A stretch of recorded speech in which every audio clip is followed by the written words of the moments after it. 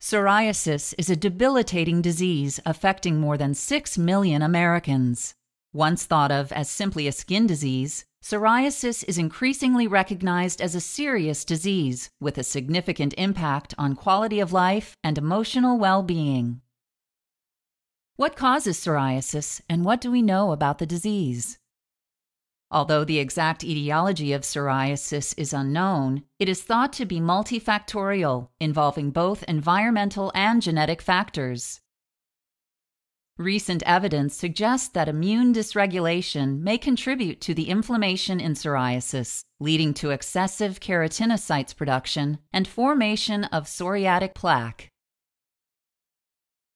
It is still unclear what triggers the immune dysregulation, but the process is now understood to involve the participation of T lymphocytes and a number of specific cytokines they express or that affect them.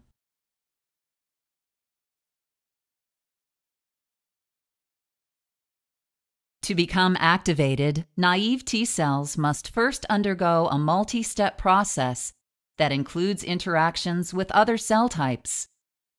The inflammatory process is thought to begin when an antigen presenting cell, such as a dendritic cell, is activated by an antigen in the skin.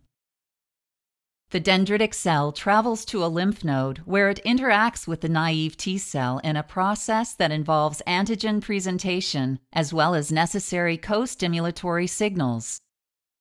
This process results in the transformation of the T cell into an activated memory T cell because it remembers the antigen to which it has been exposed. Next, fallow cell proliferation and migration of T cells through the circulation to the site of the inflammation in the skin.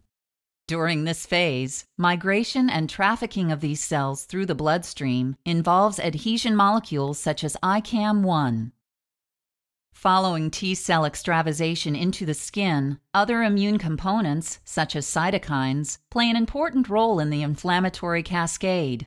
These chemical messengers, including TNF alpha and interferon gamma, are secreted by memory T cells and lead to keratinocyte hyperproliferation and subsequent formation of psoriatic plaques.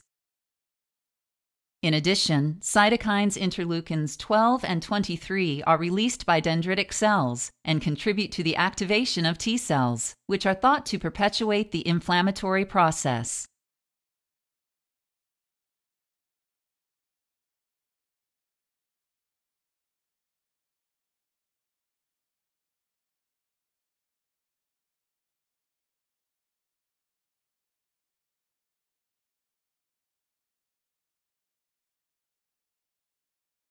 While our understanding of immunopathogenesis psoriasis has improved based on recent research, the exact cause remains unknown and there is no cure.